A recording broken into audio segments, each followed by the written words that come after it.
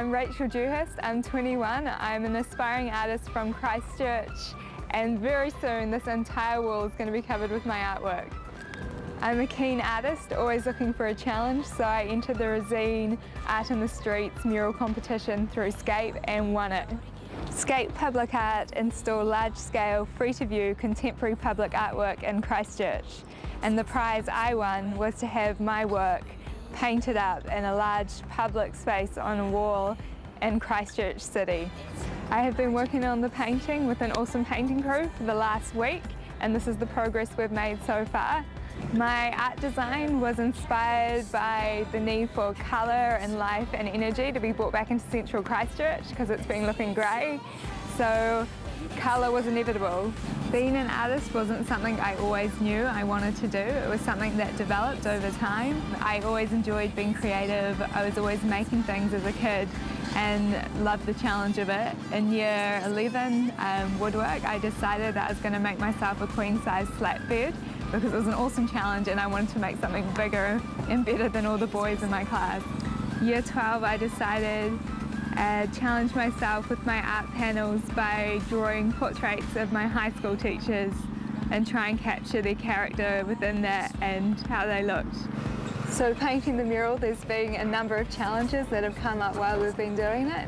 For example, projecting it up on this wall. So we come in at night and project it from on top of a van and then a whole lot of us get up here and draw with pencils and number the colours. So it's paint by numbers and makes it a lot easier when we're filling it in.